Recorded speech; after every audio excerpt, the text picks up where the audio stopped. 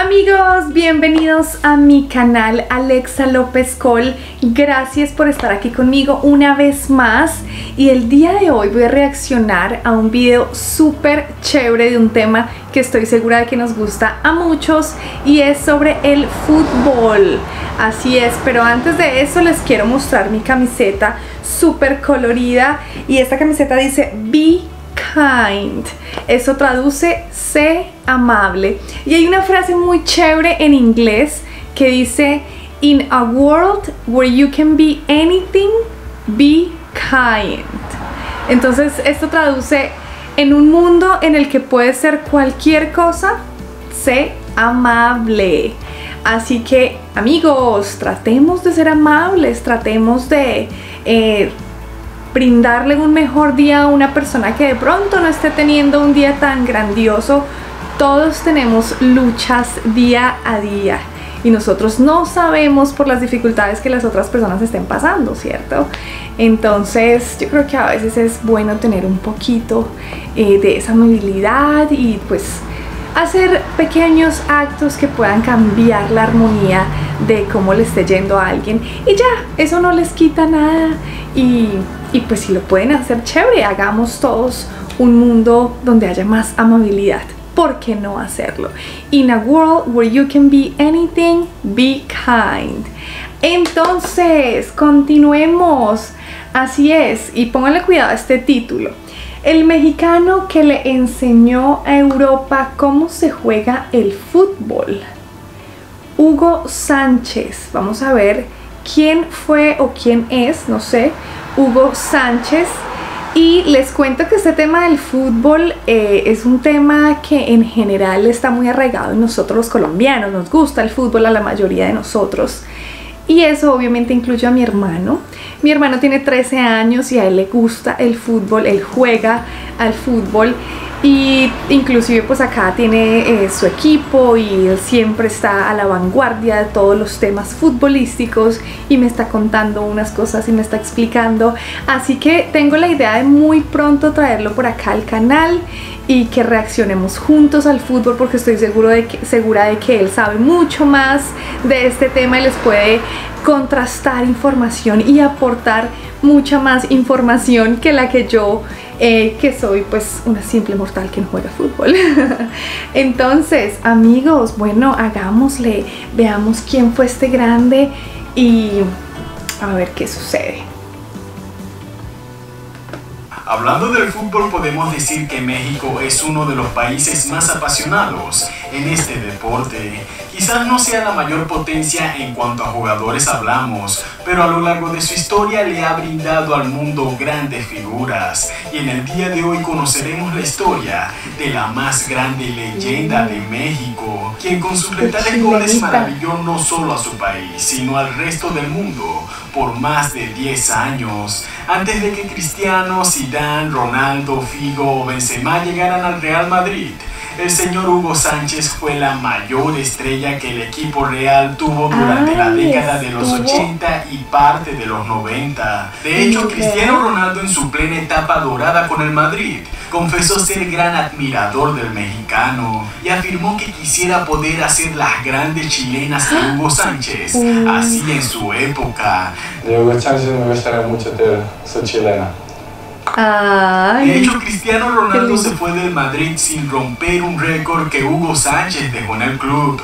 El astro mexicano logró alcanzar con el Madrid cuatro trofeos como el mejor goleador de las ligas, mientras que Cristiano solo pudo alcanzar tres. Fue un hombre que demostró su peso anotando los goles más difíciles e imposibles en el campo. Su elasticidad y su magia a la hora de anotar los goles hacían ver que para él le resultara fácil algo que para muchos es imposible. Era un jugador que se daba el lujo de anotar goles de chilena casi a diario, considerado por muchos como el futbolista que llegó a ejecutar la chilena con una maestría excepcional. La leyenda Hugo Sánchez sobresalió por su extraordinaria agilidad, su desmarques, su gran capacidad para el remate y su gran estilo acrobático, el cual maravilló sin lugar a dudas a la afición del fútbol europeo.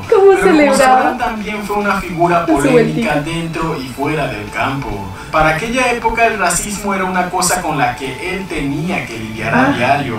El hecho de que fuera un mexicano brillando en Europa, para muchos ya esto era un motivo de ser señalado, pero él convirtió el odio de muchos en aplausos con cada uno de sus icónicos goles. Sin duda alguna es el futbolista mexicano con mayor reconocimiento internacional y hoy este canal tendrá el honor de contarles su historia.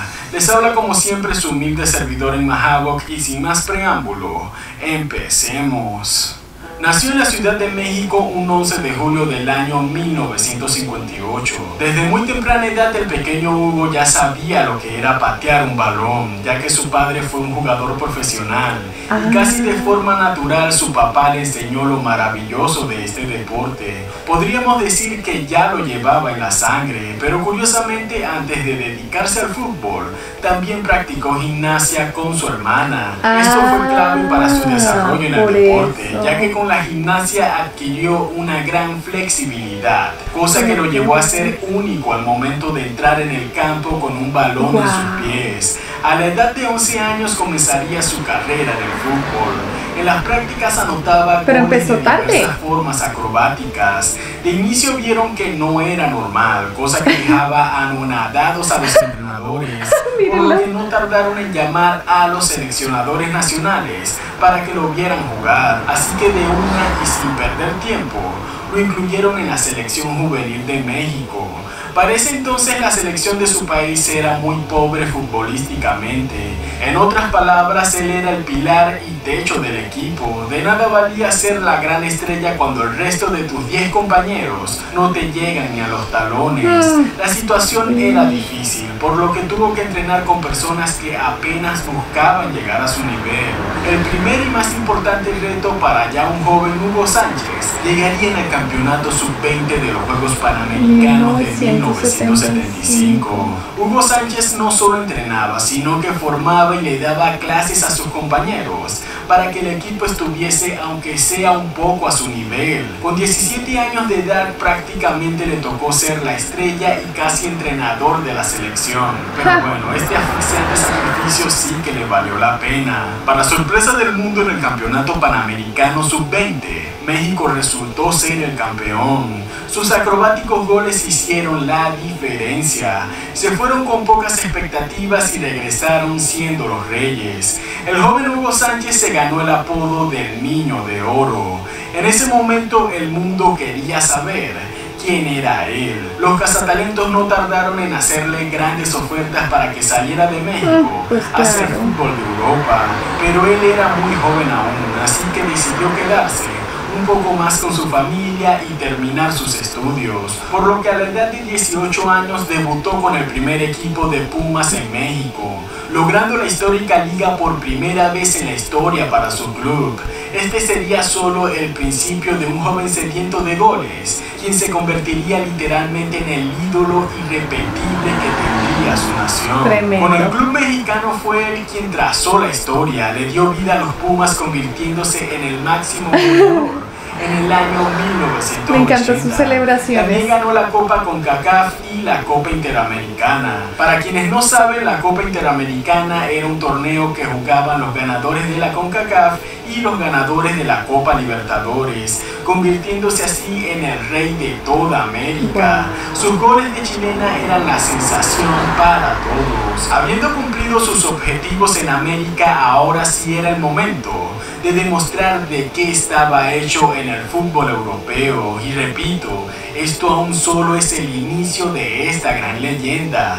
Al llegar a Europa sus opciones eran el Arsenal y el Atlético de Madrid, por lo que optó jugar en el Atlético. Se pensaba que su carrera allí iniciaría con el pie derecho, pero no todo podía ser tan bueno para el joven Hugo Sánchez. En España su comienzo fue difícil, ya que su primer entrenador se mostraba indiferente con él. Lo colocaba en otras posiciones en sus primeros partidos.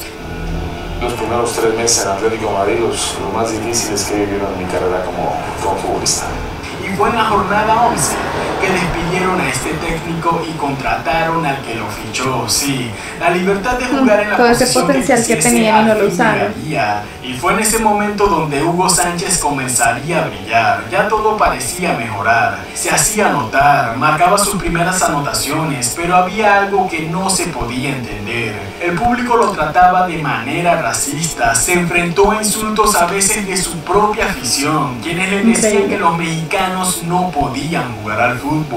Porque estás quitando el impuesto de trabajo a un español. Y nada, lloré, lloré varias veces de impotencia. Mostrando su asombro no le quedaba de otra que callar los insultos, marcando más goles, sin importar que dio lo mejor de sí en sus cuatro temporadas que estuvo en el Atlético de Madrid. Mientras pasaba el tiempo, el odio y los gritos racistas terminaron en aplausos cuando ganó la Copa del Rey con el Atlético en la temporada del 84-85. Esto con dos goles suyos en la final además haciendo quedar a su equipo en el segundo lugar de la liga. Un mexicano enseñándole a los españoles cómo se juega el fútbol.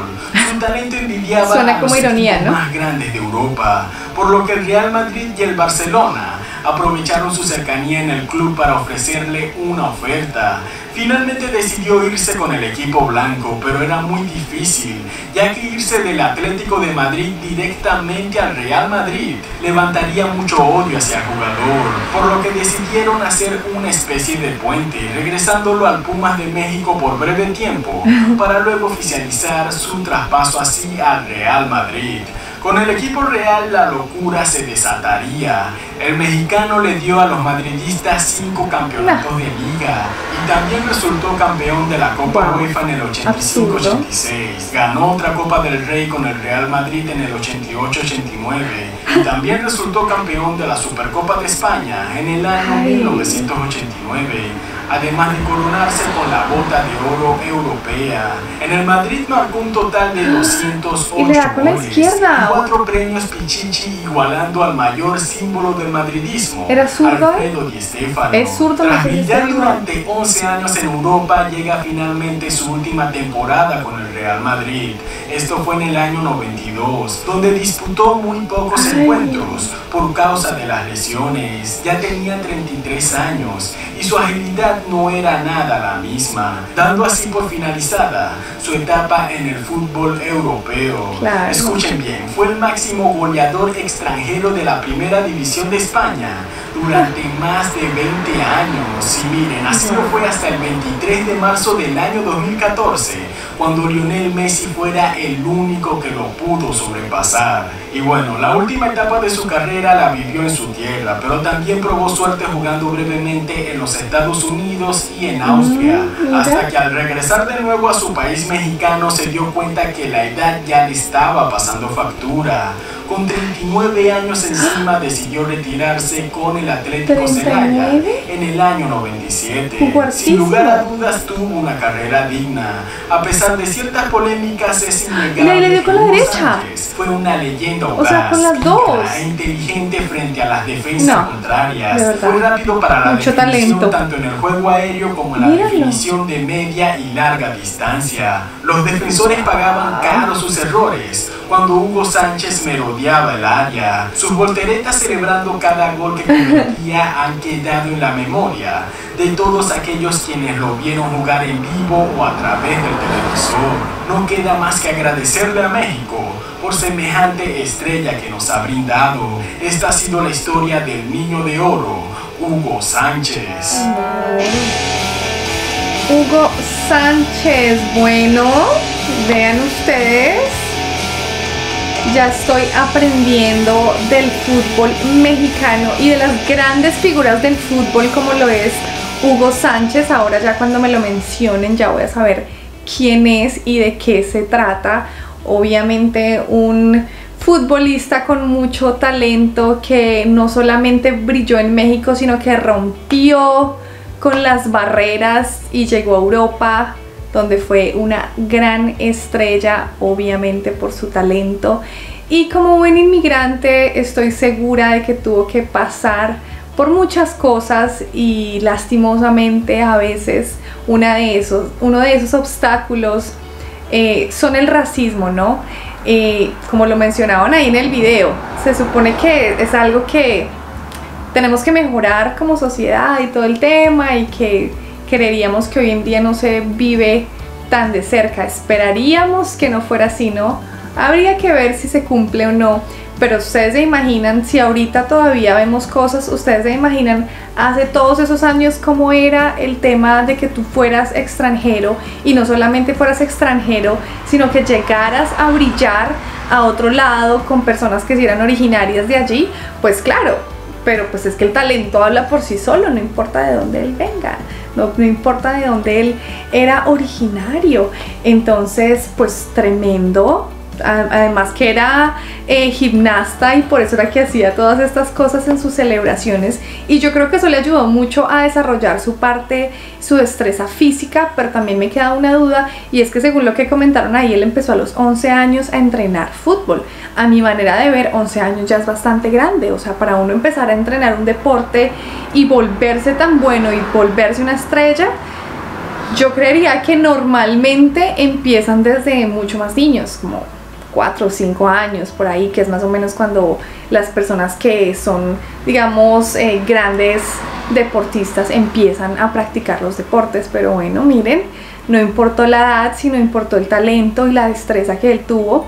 Em, y pues qué bueno que fue un ejemplo más de un mexicano que representó su patria en tierras europeas. Entonces muy chévere, muy agradable conocer de estos personajes y del fútbol, eh, que es un tema que a todos nos gusta.